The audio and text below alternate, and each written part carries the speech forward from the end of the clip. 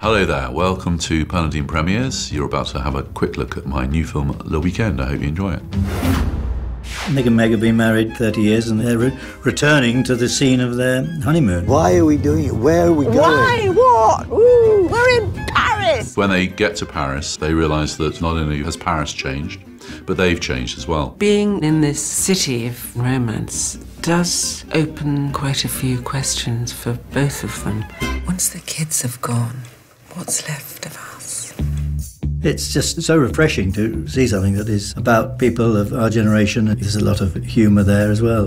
It's a very, very funny account of a marriage that may be doomed, we don't know. Try me again, and I promise it'll be more fun this time. I think people will feel for them, and I know they'll laugh with them and at them. Here's to us.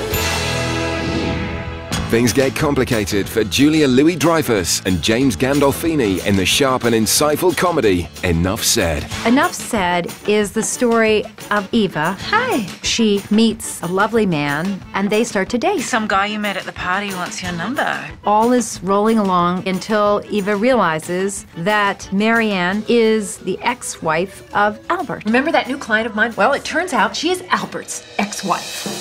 Julia is great fun to work with. I really am laughing a lot on this set.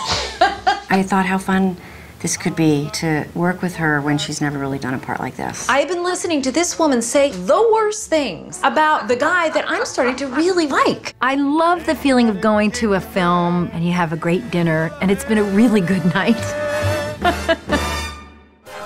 To find out more, follow Pearl and Dean on Facebook. Now sit back, relax, and enjoy. I'm Thandie Newton. On set, a makeup artist helps me look my best. At home, I don't need her, or all these jars and bottles. For younger looking skin and an even skin tone. Olay Touch of Foundation. Seven age defying effects with a touch of foundation. In one step. At home, I prefer one cream.